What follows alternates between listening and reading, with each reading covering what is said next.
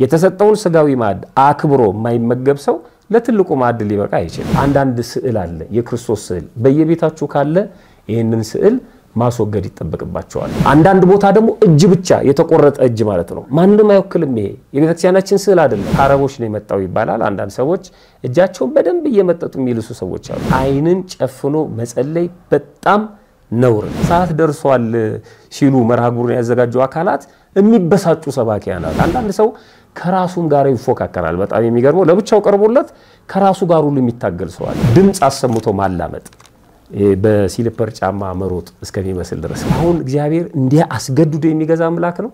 ዓይናችሁን ጨፍናችሁ ግን ምግባችሁንም ይዛችሁ ጸልዩ የሚል መጽሐፍ ቅዱስ ትምህርት አለ።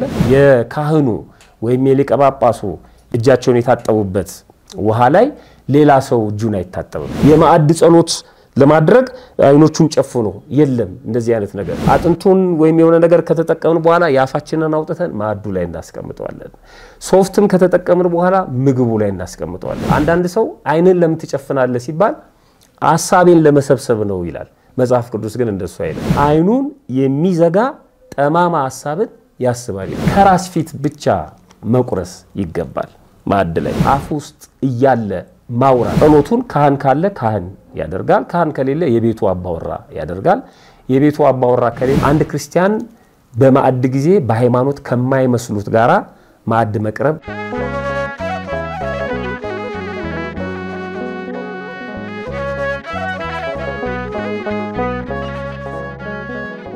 ምስጉና አንተ እስከ ዘለዓለም በስመ አብ ወወልድ ወመንፈስ ቅዱስ አሃዱ አምላክ አሜን። የወርቁን መቅረዝና ቀንዲሎቹንም ማታ ማታ እንዲያበሩ ያዘጋጃሉ። ሁለተኛ ዜና መዋዕል ምዕራፍ 13 ቁጥር 11። ሰላም ጤና ይስጥልኝ። በመላው ዓለም የምትገኙ የቀንዲል ሚዲያ ቤተሰቦቻችን እንደምን አላችሁ? ሰላም እግዚአብሔር ከሁላችንም ጋር ይሁን። የምስጋና ማዕድ በመዝሙርና በዝማሬ በመንፈሳዊ ቅኔም እርስ በእርሳችሁ ተነጋገሩ፣ ለጌታ በልባችሁ ተቀኙና ዘምሩ። ወደ ኤፌሶን ሰዎች ምዕራፍ 5 ቁጥር 19 ይህንን ቃል መሰረት በማድረግ ዘወትር ማክሰኞ ምሽት ከ12 ሰዓት ጀምሮ በቀጥታ ስርጭት ቀንዲላችንን በምስጋናና በዝማሬ አብርተን በዘማሪያኑ ሕይወትና ቃል ተጽናንተን የምዕመናንን ሐሳብ እየተቀበልን እግዚአብሔርን ስናመሰግን የምናመሽበት ልዩ ሳምንታዊ የቀጥታ ስርጭት መርሃ ግብርን ወደ እናንተ ይዘንላችሁ መጥተናል። እኛ ለእናንተ በሚገባ መልኩ ተዘጋጅተን እጅግ ተወዳጅ ዘማሪያን አገልጋዮችን ጋብዘን በሰዓታችን ዘወትር ማክሰኞ ምሽት 12 ሰዓት በቀጥታ ስርጭት እንጠብቃቸዋለን። እናንተ ደግሞ ጠሪ አክባሪ ነውና ሰዓታችሁን አክብራችሁ በመገኘት መርሃ ግብሩን በመካፈልና ለሌሎችን በማካፈል ሀሳብ አስተያየቶቻችሁን በመስጠት አብራችሁን እንድትጓዙ ስንል በፍቅር ግብዣችንን እናቀርባለን። የፊታችን ታህሳስ 16 2016 ዓ ም በይፋ በልዩ ድምቀት ወደ እናንተ ይዘን እንመጣለን። ሰላም እግዚአብሔር ከሁላችንም ጋር በስመ አብ ወወልድ ወመንፈስ ቅዱስ አሃዱ አምላክ አሚን። እግዚአብሔር የሚወዳችሁ እሱ እግዚአብሔርን የምትወዱት በቀንዲል ሚዲያ የልማድና ክርስትና መርሃ ግብር ተከታታዮቻችን በያላችሁበት እንደምንሰነበታችሁ አሜን። የአምላካችን የልዑል እግዚአብሔር ስም ዛሬም ዘወትርም እስከ ዘላለም ድረስ የተመሰገነ ይሁን። እንደተለመደው በዚህ ልማድና ክርስትና መርሃ ግብራችን ያው በቀንዲል ሚዲያ ሁላችሁም እንደምታውቁት በዚህ ሳምንት ደግሞ ይዘንላችሁ የምንቀርበው ስለ ክርስቲያናዊ ማዕድ እና ስርዓቱን በተመለከተ ነው። የአንድ ክርስቲያን የማዕድ ስርዓት ምን መምሰል አለበት?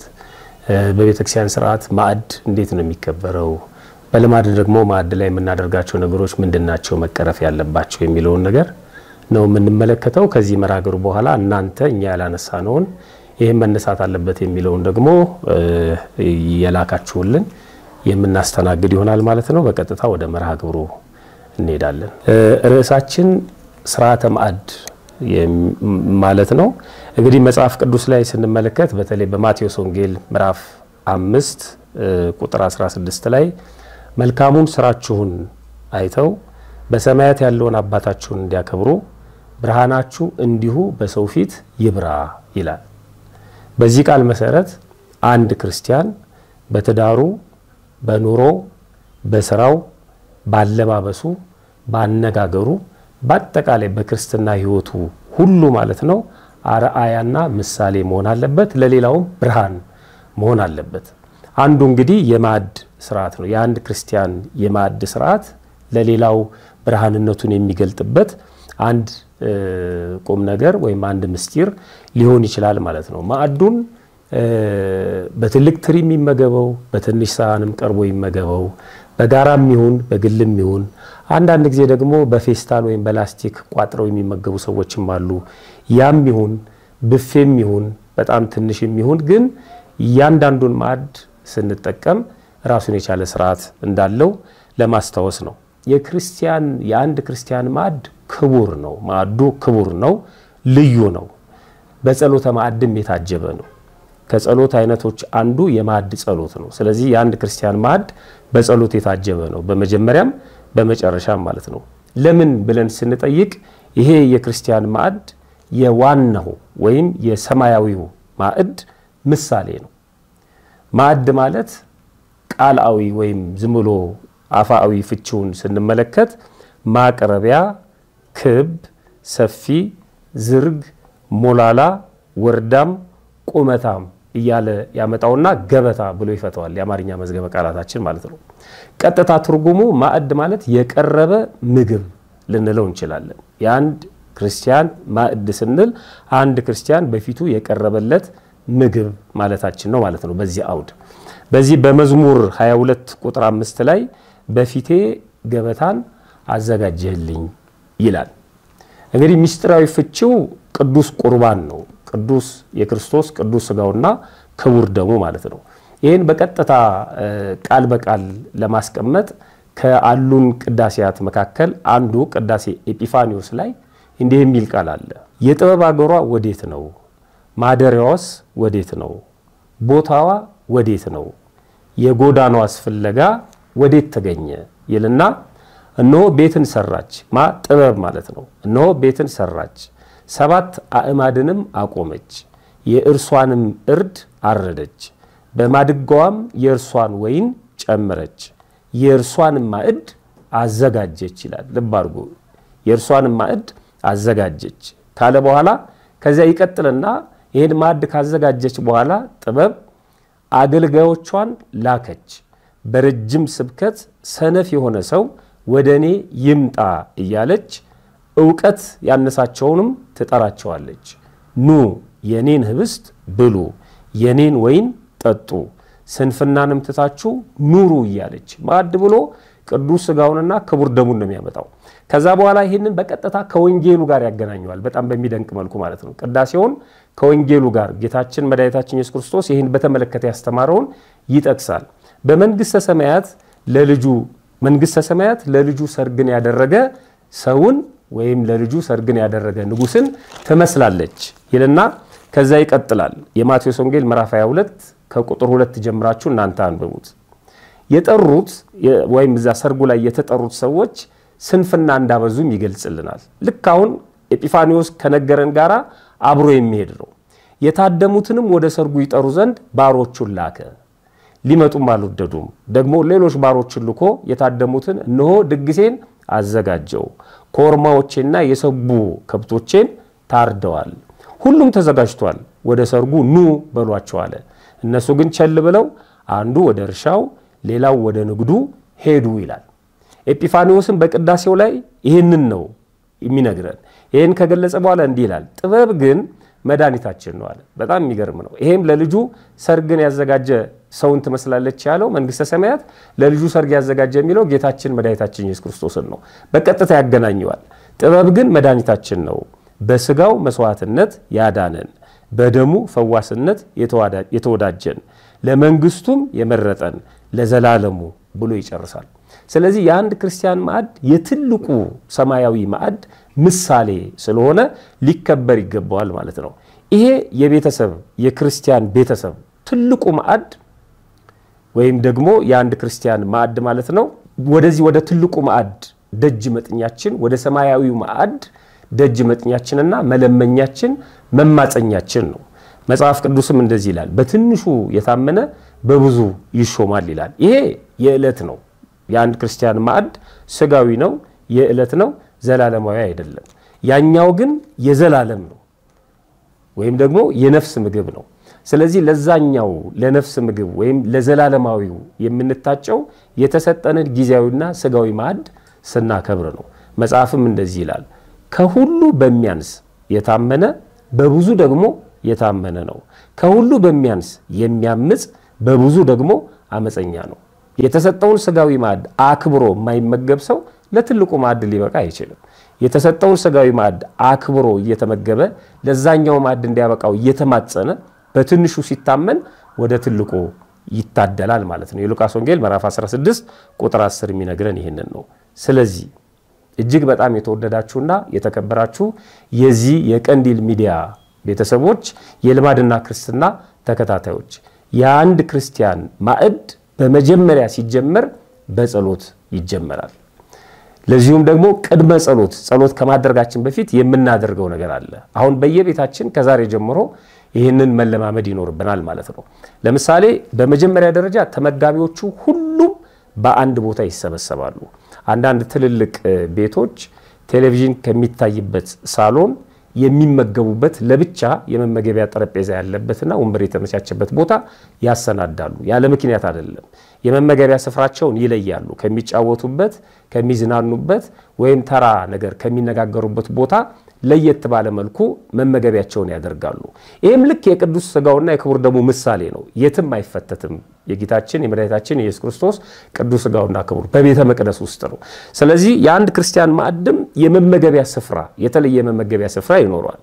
ይሄ እንግዲህ የኑሯችን ሁኔታ ይወስናል። ግን ባይኖርም እነዛን ነገሮች ደግሞ ለማስወገድ እንሞክራለን ማለት ነው። እየተዝናኑ እየተጫወቱ ሌላ ጉዳይ እየሰሩ የቀረበውን ማዕድ መቋደስ ስለማይቻል ማለት ነው። ስለዚህ በመጀመሪያ ደረጃ ሁሉም ተመጋቢ ይሰበሰባል። ማዕዱ ከመቀረቡ በፊት ተመጋቢው በሙሉ ይሰበሰባል።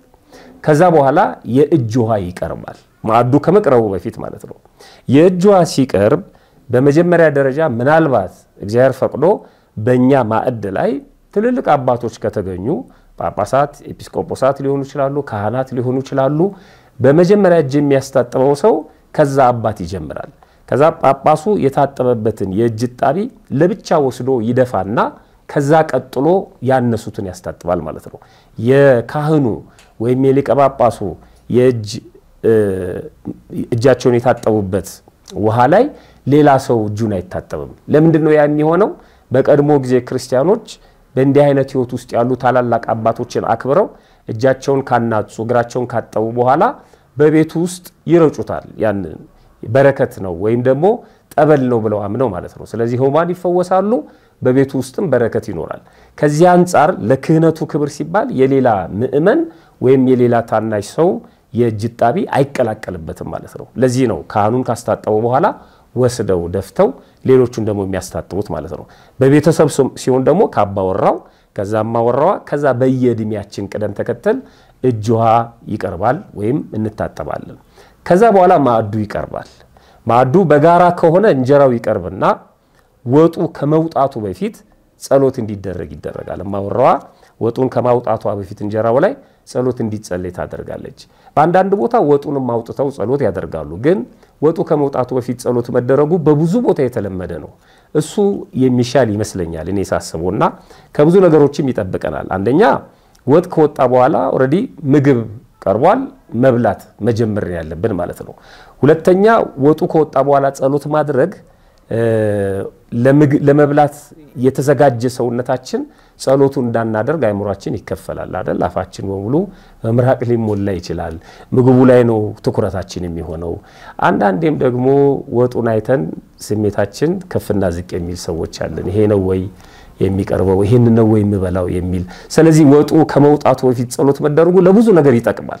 ቡራኬም ሲሰጥ ካህኑ ከደረቀው እንጀራ ከደረቁ እንጀራ ላይ ቆርሶ ስለሆነ ለሁላችንም የሚሰጠን ምግብ መብላት አለመጀመሩንም ስለሚያሳይ ወጡ ከመውጣቱ በፊት እንጀራው ከቀረበ በኋላ ጸሎት ይደረጋል ማለት ነው። የማዕድ ጸሎት ይደረጋል።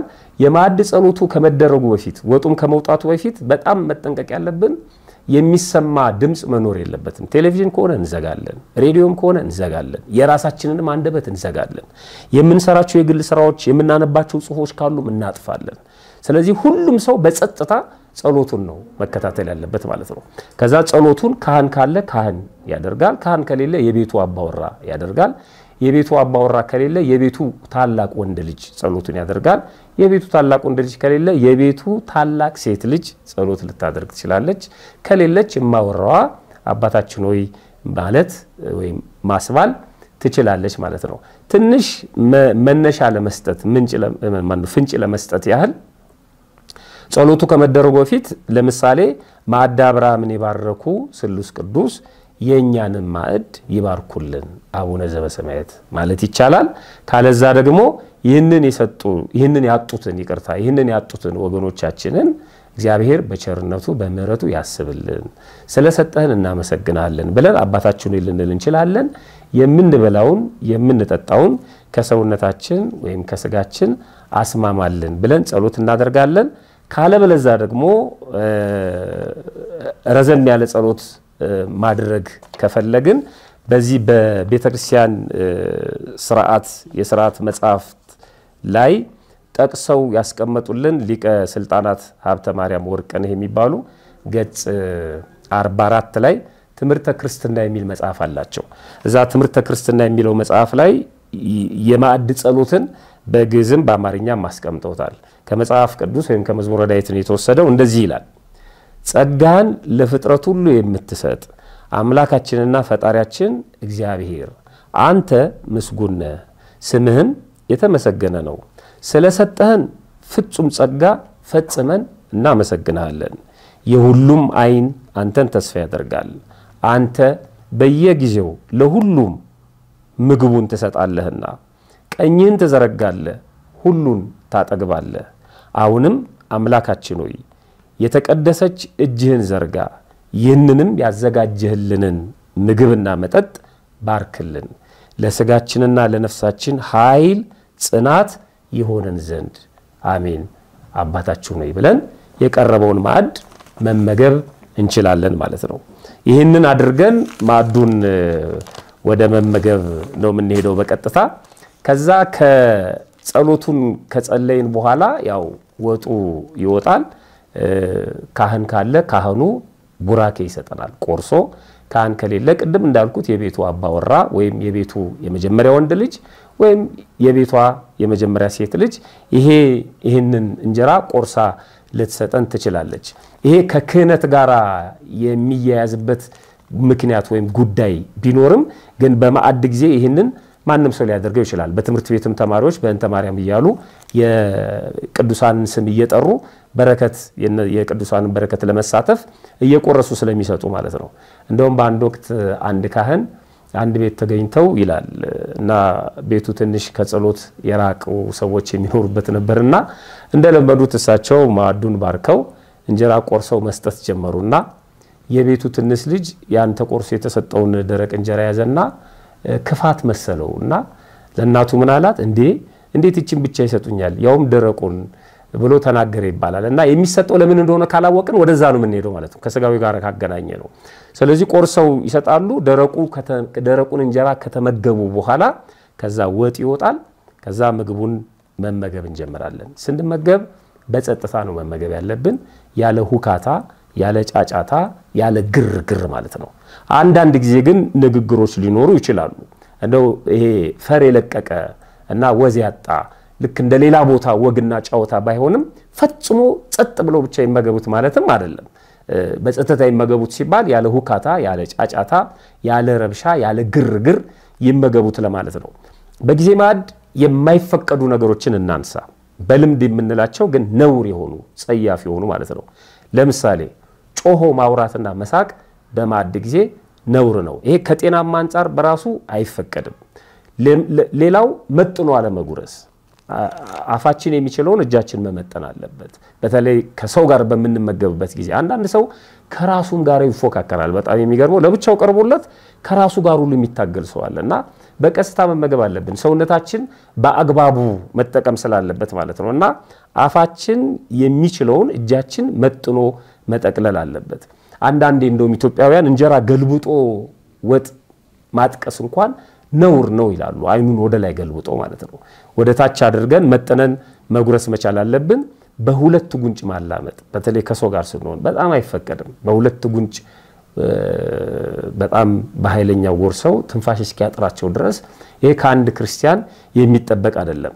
ድምፅ አሰምቶ ማላመጥ በሲሊፐር ጫማ መሮጥ እስከሚመስል ድረስ ማለት ነው እና አሰምቶን ጣ ጣ እያሉ በአድ ላይ መመገብ በጣም ነውር ነው። ሁለተኛ ከራስ ፊት ብቻ መቁረስ ይገባል ማዕድ ላይ እንደውም አንዳንድ ጊዜ አይተን አሁን እናቶቻችን አባቶቻችን ሲመገቡ እንጀራው ሳሳ ባለበት ቦታ ላይ እየቆረሱ ያስቀምጣሉ እና ከሌላ ሰው ማዕድ ሄዶ ከሰው ፊት መቁረስ አግባብ አይደለም። አንድ ሰው እንደውም አብሮት እየተመገቡ ከሱ ማዕድ ዘሎ መጥቶ ከሱ ፊት ሲቆርስ በል እንግዲህ መምጣት ካልቀረ ጨብጠኝና ሂድ ብሎታል ይባላል እና ነውር ነው። እዛው ከራሳችን ማዕድ ላይ ብቻ ወይም አጠገባችን ብቻ መመገብ ይገባል። ከጎረሱ በኋላ ማዕዱ ላይ እጅን አለማራገፍ። አንዳንድ ሰዎች አውቀውትም ይሁኑ ሳያውቁ ልምድ ሆኖባቸው እንጀራ ይጎርሱና ማዕዱ ላይ እጃቸውን ያራግፋሉ። በጣም ነውር ነው ይሄ ከምንመገበው ምግብ ጋር። እንደው በሹካ በማንኪያ እንኳን ስንመገብ ማንኪያውና ሹካውን እዛ ምግቡ ላይ እንኳን ማስቀመጥ አይፈቀድም። አሁን ገንፎ ከሆነ ሁሉም ሰው በማንኪያ ነው የሚመገበው። አንድ ሰው ከበቃው እዛ ገንፎ ላይ ማንኪያውን አይተክልም። ማንኪያውን ሌላ ቦታ ነው የሚያስቀምጠው። ምክንያቱም ማንኪያው የእሱን አፍ ነክቶታል። የሌላውን መብት ወይም ደግሞ የሌላውን እንትን ሕሊና መጉዳት ስለሌለብን መጠቀም ስላለበት ማለት ነው። ወይም ደግሞ ጥቅም አልባ ስለሆነ ከዚህ መጠንቀቅ ያስፈልጋል። ከራስ ፊት መቁረስ፣ ከጎረሱ በኋላ ማዕዱና እጅን አለማራገፍ፣ ማዕዱ ሳያልቅ አቋርጦ መነሳት ክልክል ነው በፍጹም ማለት ነው። ጸሎት ሳይደረግ ልክ እንደ ቅዳሴ ማለት ነው። አሁን ወደ ዋናው ማዕድ ነው የሚወስደን ብለናል አይደለም። ስለዚህ ያ ማዕድ ከመጠናቀቁ በፊት ቅዳሴ አቋርጦ መውጣት እንደማይቻለው ይሄኛውም በጸሎት ነው የተጀመረው። በጸሎት እስከሚፈጸም ድረስ ነጥቆ መሄድ ነው የሚሆነው። ሲሰጠን አመሰገንን፣ ከተመገብን በኋላ ተመስገን ብለን ነው መሄድ ያለብን እና ጸሎቱ እስኪያልቅ ድረስ መጠበቅ አለብን። ማዕዱ ሳይነሳ እጅ መታጠብም ነውር ነው። እዛ ማዕዱ ላይ እጅ መታጠብ አይገባም። ማዕዱ ከመቅረቡ በፊት ነው እጅ የታጠብ ነው። ከተነሳ በኋላ ጸሎት አድርገን ማዕዱ ከፍ ይበል እንላለን። ማዕዱ ከፍ ካለ በኋላ እጃችንን እንታጠባለን። ምክንያቱም እዛ ላይ የእጃችን እጣቢ ሊነጥብበት ስለሚችል አንዳንድ ሰዎች ከየት እንዳመጡት አላቅም ከበሉ በኋላ እዛው ትሪው ላይ እጃቸውን የሚታጠቡ ሰዎች አሉ። በጣም ነውር ነው። ትሪው ላይ እጃቸውን ታጥበው እዛው ትሪውንም አጥበው አለቅልቀው የሚደፉ አሉ። ይሄ አግባብ አይደለም። ያ ማዕድ መከበር አለበት እና እጅን መላስ actually ከአረቦች ነው የመጣው ይባላል። አንዳንድ ሰዎች እጃቸውን በደንብ እየመጠጡ የሚልሱ ሰዎች አሉ እና ሰው ፊት ወይም ከሰዎች ጋር ስንሆን ለብቻችን ምንም ላይሆን ይችላል እና ግን በህብረት ማዕድ ቀርበን እጃችንን እየላስን ማዕዱን መጠቀም አግባብ አይደለም። ምግቡን ሳይውጡ አፍ ውስጥ እያለ ማውራት አንዳንድ ሰዎች አጋጥሟቸዋል። ምግብ እያኘኩ ያወራሉ እና የዛ የምግቡ ፍንጣሪ እዛ ተመልሶ ምግቡ ላይና እላያችን ላይ አጠገቡ ያለው ሰው ላይ ሁሉ ሲያበለሻሻቸው ይታያል እና ምግብን ሳንውጥ ማውራት የለብንም። ይሄ ከጤናማ አንጻር አግባብ ስላደለ ማለት ነው። በመጨረሻ በማዕድ ጊዜ ከምናደርጋቸው ነገሮች ወይም ጸያፍ ነገሮች ዓይንን ጨፍኖ መጸለይ በጣም ነውር ነው። ብዙ ሰዎች ምግብ ከቀረበላቸው በኋላ ዓይናቸውን በሁለት እጃቸው ይዘው ጨፍነው ጸሎት የሚያደርጉ ሰዎች አሉ። በቤተክርስቲያን ስርዓት ይህ አልተፈቀደም። ለምንድን ያልተፈቀደው የሚለውን በነጥብ እንይ። የመጀመሪያው ራሱ ጌታችንና መድኃኒታችን ኢየሱስ ክርስቶስ ይህንን ስርዓት ስላላስተማረን ነው። በቀጥታ ከማዕድ ጋር በተገናኘ ወይም በሌላ ቦታ ጌታችን መድኃኒታችን ኢየሱስ ክርስቶስ ጸሎት ሲጸልይ በመጽሐፍ ቅዱስ ላይ አንብበናል ወይም ተቀምጧል። ለምሳሌ የተወሰኑትን እንይ። የማቴዎስ ወንጌል ምዕራፍ 14 ከቁጥር 15 ጀምረን ስንመለከት እንደዚህ ይላል። በወጣም ጊዜ ብዙ ሰዎችን አይቶ አዘነላቸው፣ ድዌዎቻቸውንም አዳነላቸው። በመሸ ጊዜ ደቀ መዛሙርቱ ወደ እርሱ ቀርበው ቦታው ምድረ በዳ ነው፣ ሰዓቱም አልፏል፣ ወደ መንደር ገብተው ምግባቸውን ይገዙ ዘንድ ሕዝቡን አሰናብታቸው አሉት። ጉባኤ በነበረበት ሰዓት መሽቷል፣ ከከተማ ርቀዋል። ስለዚህ ምግብ አያገኙም። ሄደው ምግባቸውን እንዲመገቡ ጉባኤውን አሰናብት አሉት ማለት ነው። ሰዓት ደርሷል ነው አሁን በእኛ ዘመን ማለት ነው። እና አንዳንድ ሰባኪያን ሰዓት ደርሷል ሲሉ መርሃ ግብሩን ያዘጋጁ አካላት የሚበሳጩ ሰባኪያን አሉ። እንዴት ሰዓት ደርሷል ትሉኛላችሁ እንዴ? ጌታችን መድኃኒታችን ኢየሱስ ክርስቶስን ሐዋርያት ሰዓት ደርሷል ሲሉት ለምንድን ነው ሰዓት ደርሷል የምትሉኝ አላለም። ህዝቡን ለህዝቡ ማሰብ አለብን። ህዝቡ ይመሽበታል ነው እኮ ትምህርትህን ጠቅለል አድርገው ሰዓቱ ደርሷል ማለት ህዝቡ ይመሽበታል። ከሚችለውና ከሚሰማው አቅም በላይ ነው እየተናገርክ ያለው። ይሄ ሊገባን ይገባል። ሲሆን መጀመሪያ መጠየቅ ነው። ከመውጣታችን በፊት አውደ ምሕረቱ ላይ ስንት ደቂቃ ነው እኔ ማስተማር ያለብኝ? ካልሆነ ደግሞ ልጨርስ ስል ምልክት ስጡኝ ማለት ይሄ ነውር የለውም እና አንዳንድ መምህራንም ምዕመናን ሰዓት ደርሷል እያሉኝ ነው ልቀጥል ብለው ከምዕመኑ ጋር የሚያጋጩም ሰዎች አሉ። አግባብ አይደለም። ራሳችንን ሳናስተምር አውደ ምሕረት ላይ መውጣትም የለብንም እና ሐዋርያት መጥተው ክርስቶስን እንዲህ አሉት፣ ቦታው ምድረ በዳ ነው፣ ሰዓቱ አልፏል። ወደ መንደር ገብተው ምግባቸውን እንዲገዙ ዘንድ ህዝቡን አሰናብታቸው አሉት። ጌታችንም እንዲህ አለ፣ እንደ ራባቸው ሊሄዱ አይገባም፣ እናንተ የሚበሉትን ስጧቸው እንጂ አለ። የሚገርም ነው። እንደ ራባቸው ሊሄዱ አይገባም፣ የሚበሉትን ስጧቸው። ደቀ መዛሙርቱም ከሁለት ዓሳና ከአምስት እንጀራ በቀር በዚህ ምንም የለንም አሉ። እውነቱን ነው የተናገሩት። ለዚህ ሁሉ ህዝብ ከአምስት ሺህ ህዝብ በላይ ነው። የሚበቃ ማዕድ የለንም። ሁለት ዓሳና አምስት እንጀራ ብቻ ነው ያለን። እርሱን አምጡት ወደዚህ አላቸው። እነዚያን ወደዚህ አምጡልኝ አላቸው። በመስኩም ላይ እንዲቀመጡ ሰዎቹን አዘዘ። አምስቱንም እንጀራና ሁለቱን ዓሣ ይዞ ወደ ሰማይ ተመለከተና፣ ልብ አድርጉ፣ የማዕድ ጸሎት ነው። አምስቱን እንጀራ ሁለቱን ዓሣ ይዞ ወደ ሰማይ ተመለከተና ባርኮ ቆርሶ ለደቀ መዛሙርቱ ሰጣቸው። ደቀ መዛሙርቱም ለህዝቡ አቀረቡ። ሁሉም በልተው ጠገቡ። የተረፈውንም ቁርስራሽ 12 መሶብ ሙሉ አነሱ። የበሉትም ከሴቶችና ከልጆች በቀር ወንዶቹ አምስት ሺህ ያህሉ ነበር ይላል። የሚገርም ነው። አይኖቹን ወደ ሰማይ አነሳ እና ባረከ ይላል። ስለዚህ ማዕድ ላይ አይናችንን ጨፍነን ለምንድን ነው ጸሎት የምናደርገው? የቤተ ክርስቲያናችን ስርዓት አይደለም። ማዕድ ላይ ብቻ አይደለም፣ በሌላ ቦታም ለምሳሌ የዮሐንስ ወንጌል ምዕራፍ 17 ቁጥር አንድ ላይ የጌቴ ሰማኒው ጌታችን መድኃኒታችን ኢየሱስ ክርስቶስ የጸሎትን ስርዓት ያስተማረበት መጸለይ እንዳለብን መልእክት ያስተላለፈበት ቦታ ላይ ተንበረከከ። ተንበርክኮ ነው የጸለየው። ተንበርክኮ ግን አይኖቹን ወደ ሰማይ አነሳ ነው የሚለን። በጣም የሚገርም ነው። ሲጸልይ ኢየሱስም ይህን ተናግሮ ወደ ሰማይ አይኖቹን አነሳና እንዲህ አለ። አንዳንድ ስዕል አለ፣ የክርስቶስ ስዕል በየቤታችሁ ካለ ይህንን ስዕል ማስወገድ ይጠበቅባቸዋል። ተንበርክኮ እጆቹን ግንባሩ ላይ አድርጎ አይኖቹን ጨፍኖ ከየት ነው ያመጣ ነው? በቤተክርስቲያን ስርዓት ይሄ የለም። አንዳንድ ቦታ ደግሞ እጅ ብቻ የተቆረጠ እጅ ማለት ነው። ማንም አይወክልም። ይሄ የቤተክርስቲያናችን ስዕል አይደለም። የማዕድ ጸሎት ለማድረግ አይኖቹን ጨፍኖ የለም። እንደዚህ አይነት ነገር አይኖቹን ወደ ሰማይ ያነሳ ነው። እሱ ብቻ አይደለም። በጣም አንዳንድ ሰው አይንን ለምን ትጨፍናለህ ሲባል ሀሳቤን ለመሰብሰብ ነው ይላል። መጽሐፍ ቅዱስ ግን እንደሱ አይልም። መጽሐፈ ምሳሌ ምዕራፍ 16 ቁጥር 30 ላይ አይኑን የሚዘጋ ጠማማ ሀሳብን ያስባል ይላል። አይገርምም? በተቃራኒው ነው። አይኑን የሚዘጋ ጠማማ ሀሳብን ያስባል። አንገት ደፊ አገር አጥፊ እንደሚባለው ማለት ነው።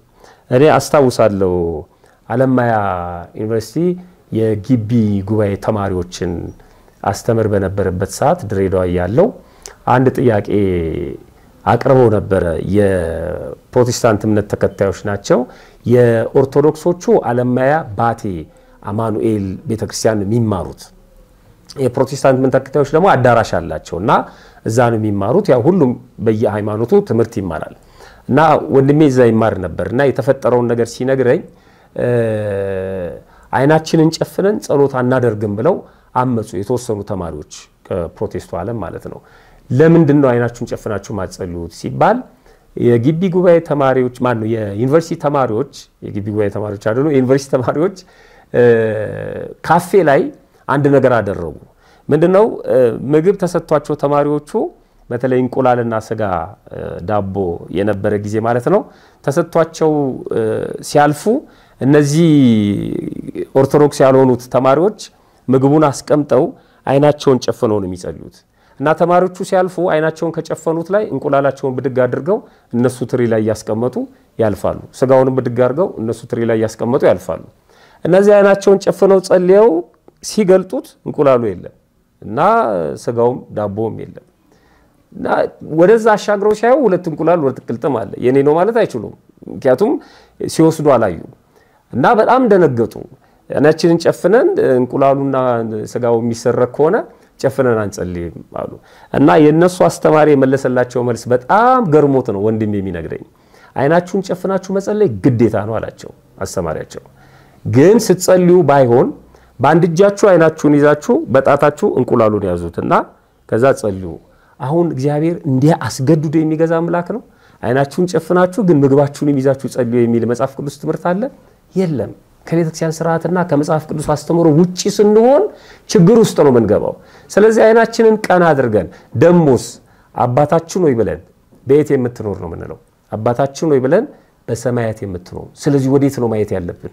ወደ ሰማይ። የህሊናችንን አይን የልቦናችንን አይን ወደ ሰማይ ቀና አድርገን መጸለይ አለብን። ስለዚህ ማዕድ ላይ ብዙ ሰዎች ይህን ሲያደርጉ ስለመመለከት ነው። አይንን ጨፍኖ መጸለይ አግባብ አይደለም። ድህረ ማዕድ ይህንን ጊዜ ማዕድም ማን ከማዕድ በፊትም ከማዕድ በኋላም ይህንን ስለምናደርግ ማለት ነው። በፍጹም አይናችንን ጨፍነን መጸለይ የለብንም። ከተበላ በኋላ ማዕዱ ማለት ነው ልናደርጋቸው የሚገቡ ነገሮች አሉ። የማዕድ ጸሎት ይደርሳል። እዛው ማዕዱ ሳይነሳ እንዳለ የማዕድ ጸሎት ይደርሳል። ያ የማዕድ ጸሎት ስብሐት የምንለው ነው በግዕዝም በአማርኛም ማለት ነው። ስብሐት ለአብ፣ ስብሐት ለወልድ፣ ስብሐት ለመንፈስ ቅዱስ ወይም ለአብ ምስጋና ይገባል፣ ለወልድ ምስጋና ይገባል፣ ለመንፈስ ቅዱስ ምስጋና ይገባል። በቻል ነው በአማርኛም ወይም በግዕዝ አንድ ሰው ይላል፣ ሌሎቻችን እንቀበላለን። ካልተቻለ ደግሞ አመስግኖ ይህንን ስለሰጠህን ስለመገብከን እናመሰግናለን፣ የበላነውን የጠጣነውን ከሰውነታችን ጋር አስማማለን፣ የኃጢአት መስሪያ አታድርግብን ብለን ተማጽነን እና አመስግነን አባታችን ብለን ማዕዱን ከፍ ማድረግ ይገባል። አባታችን የጸሎት እንጸልያለን። ካለ ካህኑ ነው ጸሎቱን የሚመራልን፣ ከሌለ አባወራው ነው እንዳልኩት። ከሌለ አባወራው የቤቱ ታላቅ ወንድ ልጅ ሊሆን ይችላል የማዕዱን ጸሎት የሚመራልን። ከሌለም በዕድሜ ያሉት ሰዎች ጸሎቱን ሊመሩልን ይችላሉ። ለብቻችን የምንመገብ ከሆነም ለብቻችን አመስግነን ጸሎቱን እናደርጋለን። ከዛ ማዕዱ ከፍ ይላል። ጸሎት ከተደረገ በኋላ የተረፈ ምግብ ሊኖር ይችላል። ያ የተረፈ ምግብ በጥንቃቄ መያዝ አለበት። በነገራችን ላይ ስንመገብ የእኛን ትራፊ የሚመገቡ ሰዎች እንዳሉ እያስታወስን መመገብ አለብን። በተለይ ሆቴል ውስጥ አንዳንድ ሰዎች ከተመገብን በኋላ እንጀራውን እንቆርስና በእንጀራው እጃችንን እንጠርጋለን። ሆቴል የማታዩት ነገር የለም። እንደገና ደግሞ አጥንቱን ወይም የሆነ ነገር ከተጠቀምን በኋላ የአፋችንን አውጥተን ማዕዱ ላይ እናስቀምጠዋለን። ሶፍትም ከተጠቀምን በኋላ ምግቡ ላይ እናስቀምጠዋለን። ያ ተጠራርጎ ለነዳያን ይሰጣል እና የዛን ጊዜ በጣም አስቡት የሚሆነውን ነገር። ስለዚህ የተረፈውን በጥንቃቄ መመለስ መቻል አለብን። እኛም ማናዘው ወይም የምናዘውም ቢሆን በጥንቃቄ መቀመጥ አለበት፣ በንጹህ ነው። እንደውም አሁን ካለው የኑሮ ውድነት አኳያ እኛም የምንጠቀምበት ነው የሚሆነው። ምንደፋውና ምንጥለዋ አይመስለኝም። ስለዚህ ይሄ መጽሐፍ ቅዱሳዊ ነው። ማዕዱ የተረፈው ማለት ነው በክብር መነሳት አለበት። ቅድም ባነበብኩት ጥቅስ ላይ በማቴዎስ ወንጌል ምዕራፍ 14 ቁጥር 20 ላይ ሁሉም በልተው ጠገቡ ካለ በኋላ ከአምስት ሺህ ሕዝብ በላይ የሆነው ማለት ነው የተረፈውንም ቁርስራሽ 12 መሶብ ሙሉ አነሱ ይላል። አንድ ቦታ 12 መሶብ አንስተዋል። ሌላ ቦታ ደግሞ ሰባት ቁርስራሽ አንስተዋል። የተረፈ ማለት ነው። በማቴዎስ ወንጌል ምዕራፍ 15 ቁጥር 37 ላይ ሰባት ቅርጫት አንስተዋል። በማቴዎስ ወንጌል ምዕራፍ 14 ቁጥር 20 ላይ 12 ቅርጫት ወይም መሶብ አንስተዋል። የተረፈውን ምን አደረጉት? ያን ጊዜ ሐዋርያት ያንን የተረፈውን ከማርያም መቅደላዊት ቤት አኑረውት ይላል። አንድምታውን ስታነቡት ማለት ነው። በዘመነ ደዌ በሽታ በሆነ ጊዜ ከዛ ላይ የተወሰነውን እየተጠቀሙ ይድኑበት ይፈወሱበት ነበር። በዘመነ ቀጠና ወይም ረሃብ በሆነ ጊዜ ደግሞ ለበረከት እንግዲህ አሁን ልክ እናቶቻችን ሲያቦኩ እምነቱን እንደሚያደርጉ ሲጋግሩም የሆነ ነገር እንደሚያደርጉ ያንን እየቆነጠሩ ከሚመገቡት ምግብ ጋር እያደረጉት ለበረከት ይጠቀሙበት ነበር። ዛሬም ከገዳም ወይም ከዝክር ቦታ ይዘን የምንመጣውን ለበረከት እንደምንጠቀመው ማለት ነው። ስለዚህ ጸሎት የተደረገበት ማዕድ ስለሆነ ክቡር ነው። ያንን በጥንቃቄ ማስቀመጥ ያስፈልጋል ማለት ነው። ሌላው ማዕዱ ከተነሳ በኋላ ልናደርጋቸው የማይገቡ ነገሮች ቅድም እንደተናገርኩት ማለት ነው። የጣት ውሃ ይቀርባል። ማዕዱ ከፍ ካለ በኋላ ያንን የጣት ውሃ እንጠቀማለን። ካህን ካለ ከካህን ይጀመራል። ካህን ከሌለ ደግሞ እንደ እየእድሜያችን ከቤቱ አባወራ ጀምረን እንደ የዕድሜ ማዕረጋችን እናስታጥባለን ማለት ነው። ቅድም እንዳልኩት እድሉ ገጥሞን ጳጳስ ካህን ካለ ቅድሚያ እሱን አስታጥበን ያንን ውሃ ደፍተን ነው ወደ ምዕመናኑ መምጣት ያለብን ማለት ነው። እንግዲህ ባለፈው ጊዜ ስንነጋገር ታስታውሱ ከሆነ አንድ ክርስቲያን በማዕድ ጊዜ በሃይማኖት ከማይመስሉት ጋራ ማዕድ መቅረብ የለበትም ብለን ነበር። አያችሁ፣ የማዕድ ስርዓት ስላለው ነው። ይሄንን ልንነግራችሁ ስላሰብን ነው። ቀላል ነገር አድርገነው ነው እኛ ቆሎ ዳቦ ዘግነን እንደምንበላው አድርገን ስለምናስበው ነው። ማዕዱን የማዕዱን ክቡርነት ስለማናውቅ ከእህቴ ጋር ወይም ከሌላው ጋር በሃይማኖት ከማይመስሉኝ ጋር ብመገብ እሱም የራሱን ጸልዮ እኔም የራሴን ምን ችግር አለው የምንለው። ማዕድ ይህን ያህል ክብር ካለው በሃይማኖት የማይመስለን ሰው ይህን ሁሉ ሊያደርግልን አይችልም ማለት ነው። ይህን ሁሉ የምናደርገው በሃይማኖት የምንመሳሰል ሰዎች ብቻ ስንሆን ነው። ቅድም እንዳልኩት የሰማያዊው ማዕድ ደግሞ ምሳሌ ነው። ለዚህ ነው መጽሐፍ ቅዱስ ከማያምኑ ጋር በማይመች አካሄድ አትጠመዱ፣ ጽድቅ ከአመፃ ጋር ምን ተካፋይነት አለው? ብርሃን ከጨለማ ጋር ምን ኅብረት አለው? ይላል ሁለተኛው ቆሮንቶስ ምዕራፍ 6 ቁጥር 14። ስለዚህ አንድ ክርስቲያን ማዕዱ የተከበረ ነው ያልነውን ነገር በቅደም ተከተል ፈጽሞ ሊመገበው ይገባል። ቦታው በተመቸው ቦታ ችግር የለውም። የግድ ቅድም እንደተናገርኩት የማዕድ ስፍራ ለብቻ ይሁን ማለት አይደለም፣ ግን ቦታውን ለማዕድ እንደሚሆን ማድረግ አለብን። ከስራ ቦታችንም ላይ ልንመገብ እንችላለን። ቢሮችን ውስጥ ልንመገብ እንችላለን። ቢሮችን ውስጥ ስንመገብ የምንሰራበትን ኮምፒውተር አስወግደን የምንጠቀምባቸውን መጽሐፍቶች እያነበብን እየሰራን እየጻፍን አይደለም መመገብ ያለብን። ለማዕዱ ክብር መስጠት አለብን ማለት ነው። ቦታው የትም ይሁን የት ግን የማዕድ ክብር ያስፈልጋል። ከዚህ አንጻር ነው እጅግ በጣም የተወደዳችሁ የተከበራችሁ የቀንዲል ሚዲያ ተከታታዮች የዚህ የልማድና ክርስትና አምድ ቤተሰቦች ለዛሬው ያዘጋጀንላችሁ ይህንን ይመስላል። እንግዲህ እናንተ ልታደርጉት የሚገባውን ነገር ከዚህ ከቀንዲል ሚዲያ ጋር በተገናኘ መዘንጋት የለባችሁም። like፣ share፣ subscribe ማድረግ አለባችሁ። ለሌሎቹ ማዳረስ አለባችሁ። ከቻላችሁ እስከ መጨረሻው ድረስ ማየታችሁም ለእኛ ይጠቅመናል። እስከ መጨረሻው ድረስ እንድታዩ አደራ እንላለን።